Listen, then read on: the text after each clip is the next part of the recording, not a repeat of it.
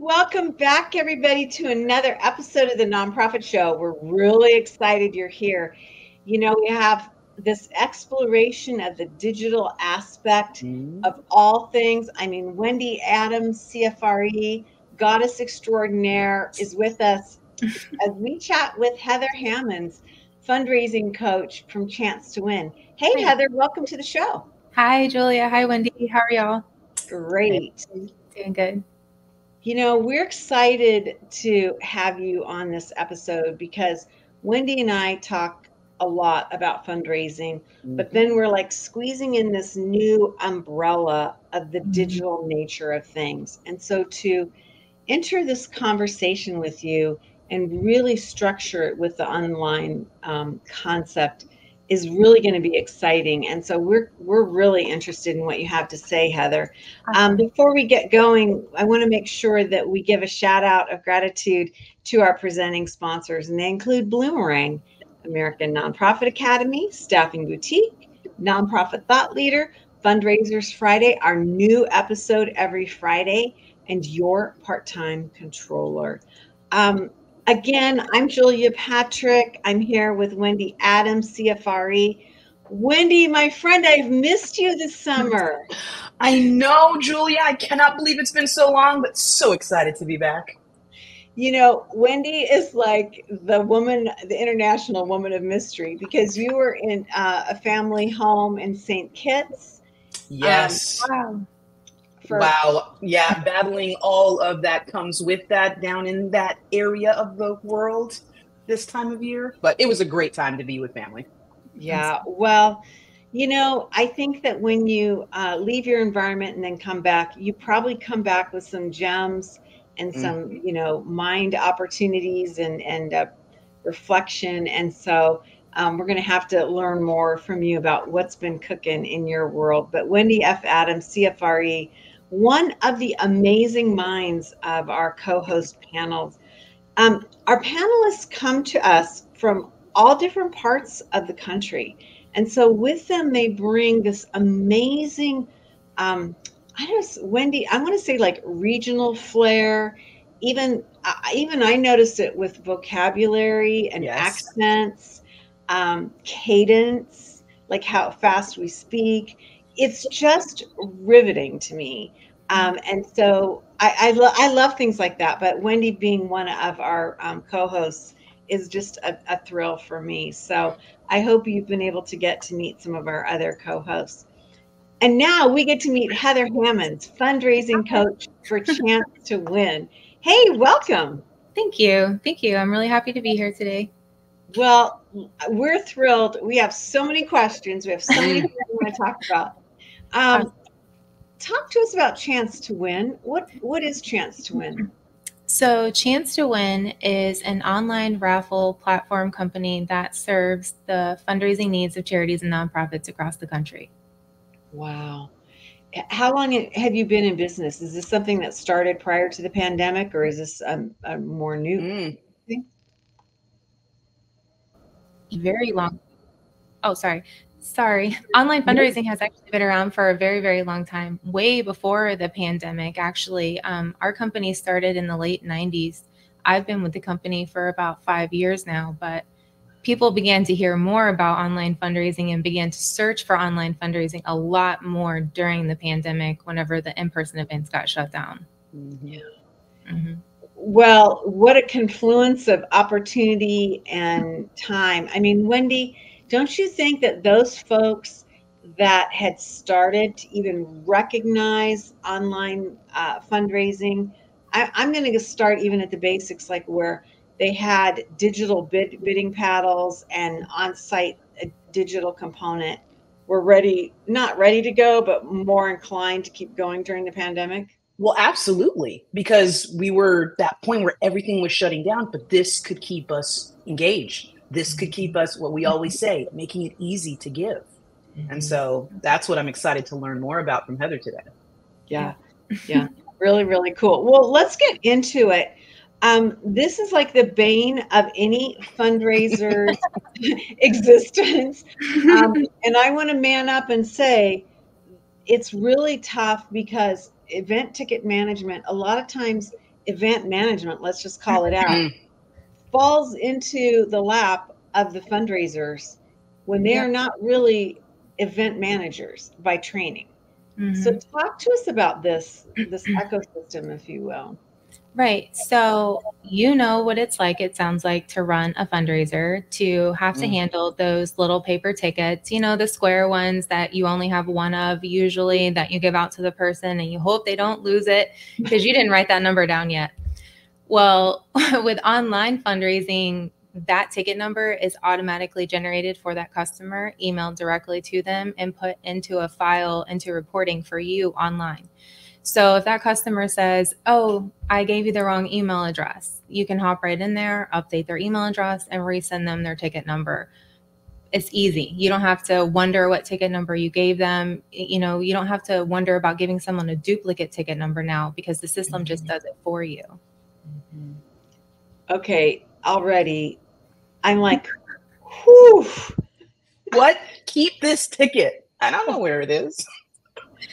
It's the worst. Well, and you know what? I'm gonna I'm gonna say this too because I'm older than both of you ladies, but I've noticed that as I've aged, and you know, you're you're always in like a, a darkened ballroom or something, Mhm. and then you can't see them. Right. You know, Or you can't read the handwriting. Or can handwrite. Yeah. Or they gave you half their phone number. Yeah. Right. There's nothing worse. And, and I do emceeing work and I have over Mm. the years.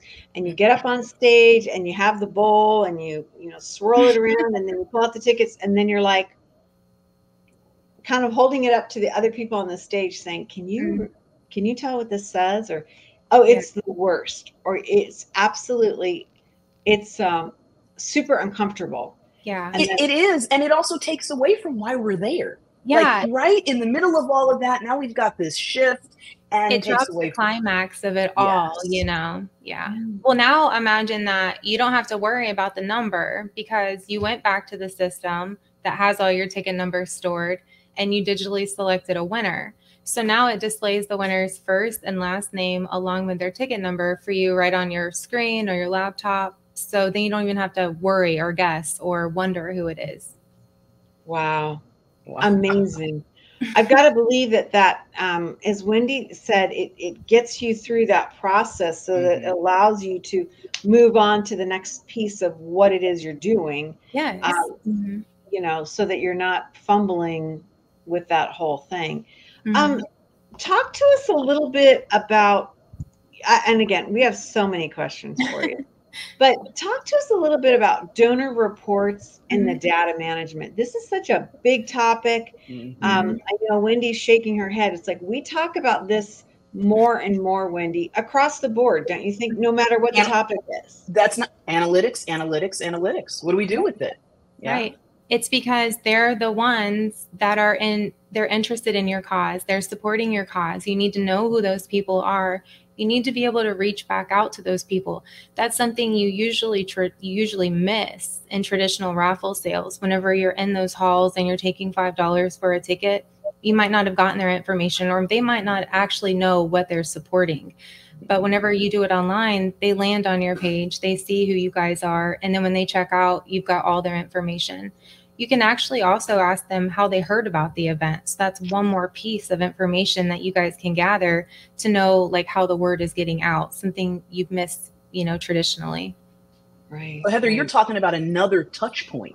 Mhm. That's just another touch point with them. Fantastic. Yeah, really interesting. You know, um, Heather, while we've got you on this this connecting point with data and the information, um, it seems to me that you have folks that will buy that one-off ticket with mm. with a group just because they're standing outside of a grocery store or or something like that versus you're checking into a gala or you're checking mm. into a community breakfast or lunch and then it's a little bit more structured.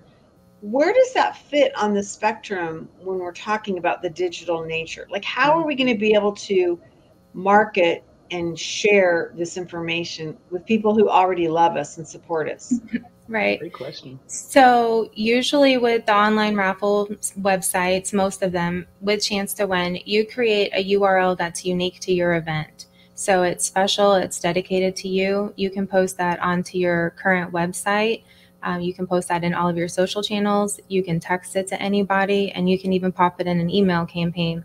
So now you can you can reach anyone any way with your raffle link, with your event link, and then they can enter, they can purchase, they can check out, and you haven't had to leave your house.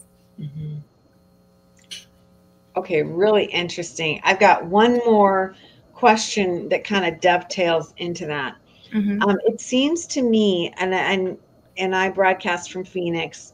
Um, Wendy broadcasts from Virginia, correct? Wendy, yes. you're in Virginia yeah, right now. I am. Um, so in the state of Arizona, if you operate a raffle, mm-hmm. technically you're supposed to go through the same uh, agency, state agency that moderates the the the, the uh, state lottery system, mm-hmm. which is a big scandal. Most people, I mean, from churches to schools, they have no idea because right. holding a raffle is like one of the first and foremost, you know, uh, fundraising. Yeah, that we, right. we grew up with as kids. There's rules. yeah. So, can you talk to us about mm. that data point and that measurement aspect um, of um, what uh-huh. you see from state to state? So while I can't speak on actual legalities to states or offer any legal advice because I'm not a lawyer and you wouldn't want me to off- give you legal advice anyways, I can tell you that each state does usually have their own rules and regulations that are posted on their states um, gambling websites, like you said, Arizona has. If a state does require that you're only allowed to sell tickets in a certain state or a certain area, there are ways that you that we can geonet your raffle site to where only people from that specific state can check out or if you're not allowed to accept credit card payments for raffle sales in your state like montana has um, we're able to put a pop-up and put disclaimers on the site and you're able to put that only debit cards can be used to check out on that raffle site so there are some checkpoints in place that we can add to help people with those rules and regulations that they have that are sometimes very very specific Okay, that blows my mind. So, so you're telling us then each state can be pretty ding dang different. Yep. Oh, absolutely, hundred percent. Are you and by county too? Not just state. It can go down to the county level. Wow. There are some states that operate their fundraising permits and everything at the county level. It's not even at the state level. I know. I did. Did you know that, Wendy? No. I've never, I, I had never heard that. So then, what is the? Is it still a good opportunity to to open up across this country when you have so many regulations, or what do you, what are your thoughts on this? Mm. So we do operate across the state because the majority of fundraising can be done across the state. There are some states in our country are, that do not allow their residents to participate in online. Sure, you know that the people who are using Chance to Win aren't offering it up to states who have already said we don't allow our residents. Mm. Those laws can change anytime. We get notified by the state when those laws change. So it's fluid. It's always changing. But as soon as we know that a state doesn't allow or a state is re-allowing, we either remove or add a state back. Wow. Okay. So Wendy, this is a fascinating um, twist on things. I mean, you're the fundraising expert and guru. Just off the top of your head, what do you think is the percentage of people that know this in the fundraising world, in the nonprofit sector? Oh, that even, even these that, that there are even regulations. That the yeah, not even how minute, uh, mm, mm, mm, under twenty percent. Yeah, I would have said the same thing. Yeah, yeah. Because this girl didn't know. Yeah. yeah. It's because you don't know, because you've been yeah. fundraising since you remember going to school and fundraising, and everyone does it in school cafeterias or in the churches mm-hmm. at spaghetti dinners, and nobody really thinks that there's any laws required into fundraising, but there there actually are very many. Wow. So talk about this then along those lines when we're thinking about uh, you know our school cafeteria and mm. holy moly you took me back and then through the trajectory of my child's life and my our niece's lives i mean it's the school cafeteria Mm-hmm. Right? I, am like right there. It's the dry drop off when you take the kids to school or pick them up.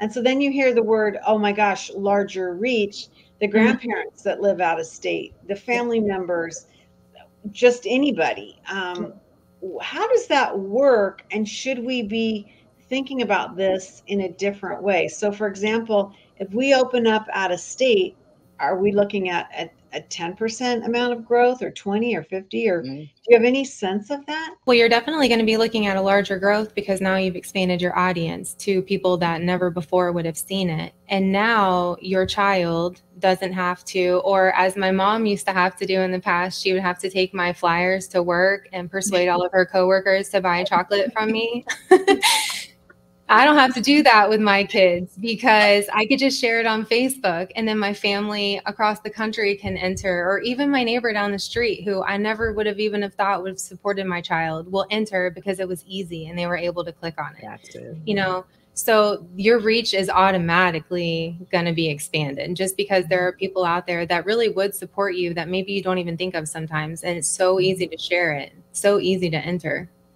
Mm-hmm. I mean, I just am picturing the QR code, right? Oh, That's yeah. Here. Mm-hmm. yeah, make that, put it on a flyer, you're done. Pop it on a door. I have a lady um, who does a church carnival raffle, and she puts mm-hmm. a QR code on her car and drives around town and asks people to buy tickets. oh my God, I love that attitude. Um, let's drill down a little bit. What is that sweet spot for mm. um, for the the dollar amount. Um, mm-hmm. Wendy, I don't know about you, but in my community, I've been seeing that number go up, like you know, hundred dollars, five hundred dollars, and then capping it, saying we're going to only sell so many tickets, but that they're at a higher amount. Do you mm-hmm. have a sense of of that, Heather? Like what what's going on?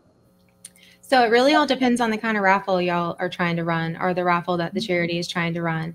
If it's a vehicle raffle for a brand new vehicle, then that's when we traditionally see a higher one dollar like one entry level price and then they're limited because people mm-hmm. kind of want to know their odds on that high dollar price.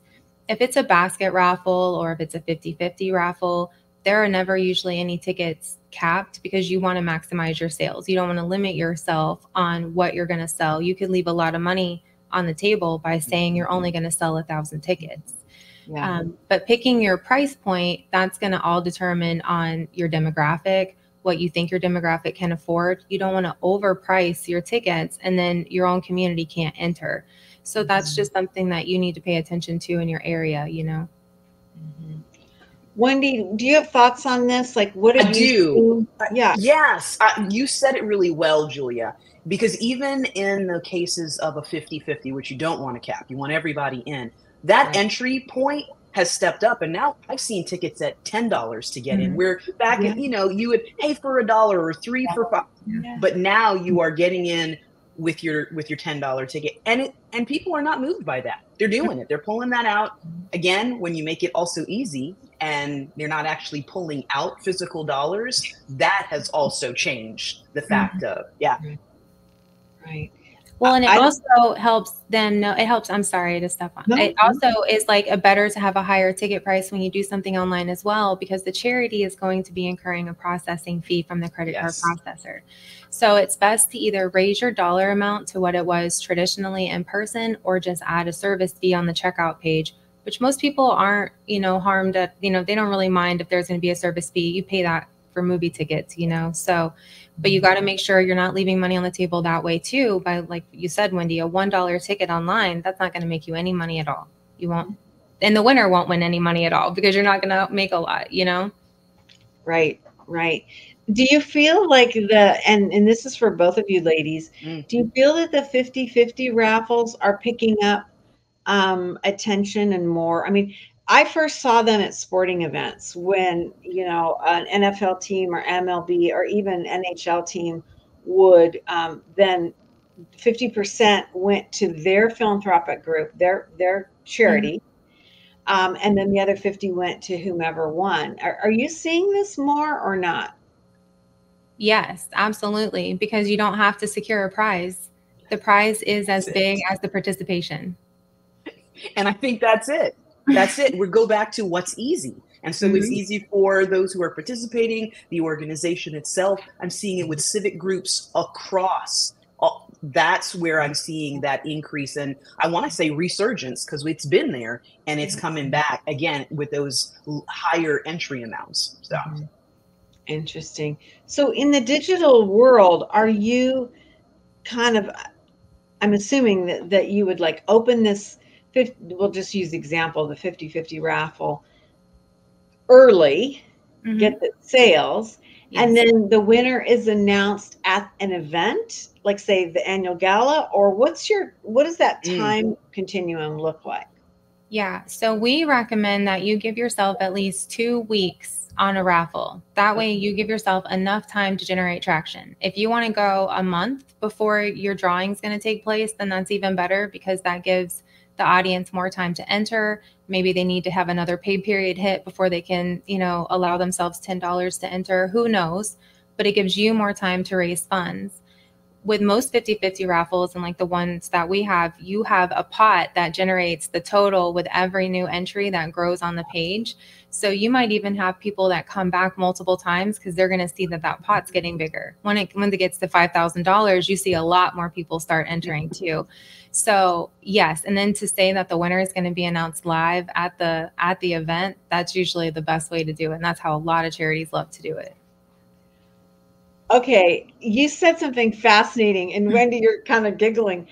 I have been part of that where I'm thinking of a, a baseball game, um, and uh, in our stadium, in my community, the 50-50 pot is is on the scoreboard. Mm-hmm. And so then you you go in and you you know you're you're getting your hot dog and your beverage and everything, and you spend whatever amount you're going to spend, and then throughout the evening nine innings can be a long time.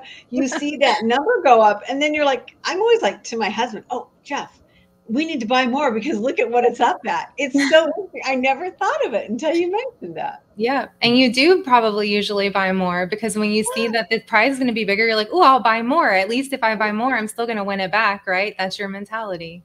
yeah. Oh my God, that's hilarious. Okay, that's really interesting. And, and I, I appreciate you calling that out. Let's talk about this. And you mentioned this briefly in the beginning, and that's the paperless and digital um, record aspect. You mentioned this in the very beginning, and a lot of times we sell raffle tickets. We have no idea who they were sold to. We don't track it. Mm-hmm. What are we missing here? You're missing everything. You're missing future contact. You're missing future engagement. You're you're missing a lot. You're missing a lot by having those donor reports, you don't also have to keep track of all these spreadsheets or all these little pieces of paper where you jot down it, jot down, jotted down John's name with his ticket number. You can just log in, you can download your, your report, you can see how many new tickets were sold that day, and then you can log out.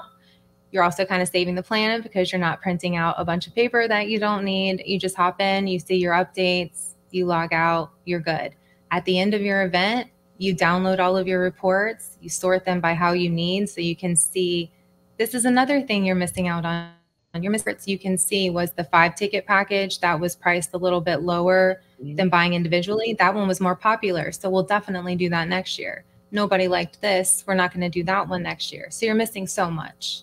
Yeah. Man. Go ahead, Wendy. I think it. Well, I was just going to say, you've also opened up people who don't actually attend the event but participated, you know, prior to they gave and we didn't have any information necessarily and but now we've mm-hmm. added this additional layer of supporters that we can actually engage with beyond the event and they didn't even step foot in the door. Right. Yeah. That's magical because I think that's one yeah. of the things is that we you know, if you're just preaching to the choir as they say, you know, the the 400 if if you get that many in your ballroom or whatever even if you get a thousand people in your ballroom um, that's only a thousand people right and you have the four hours to make it or break it and then it goes away until next year and it, it's it's a brutal thing to mm-hmm. lose that connectivity um, and it's so frightening because that's the basis of how we navigate our nonprofit business, right? Exactly. I mean, it's a really frightening thing. Um, do you portend, you know, action on on raffles and that they're going to get bigger and that we're going to be Mhm. re-engaging with this or because it's Oh, yeah. it's like an old school thing that it seems like it's come back or, or it's it's newer and more exciting because of the digital age. Is that is that fair to say?